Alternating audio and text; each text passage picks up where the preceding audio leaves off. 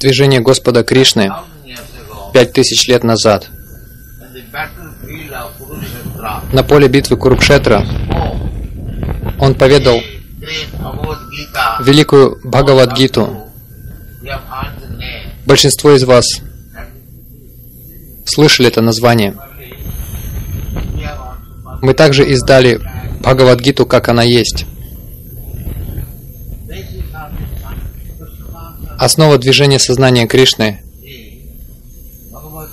это Бхагавадгита, как она есть. Цель Бхагавадгиты напомнить вам, что вы все, вы, имеется в виду все живые существа, не только люди, но также и другие существа, животные, деревья, птицы, обитатели вод. Повсюду вы обнаружите живую силу,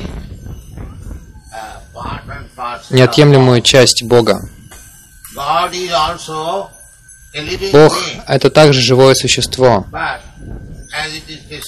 Но, как описано в Ведах, он главное живое существо. В Катха Упанишат говорится, Chetana Chetanana. God is one of the living Бог это одно из живых существ, подобных нам. Но разница между Богом и нами такова.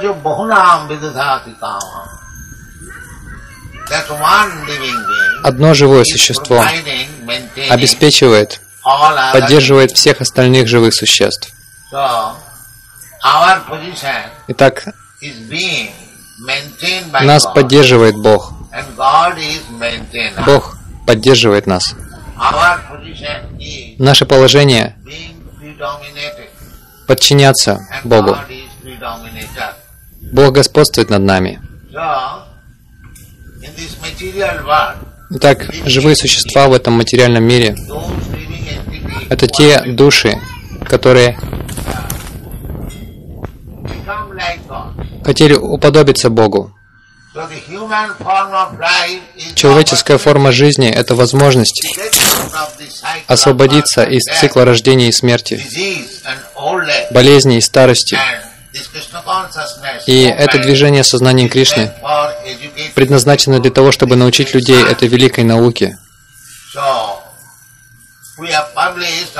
Мы уже опубликовали 20 около 20 книг 400 pages each, по 400 страниц каждая,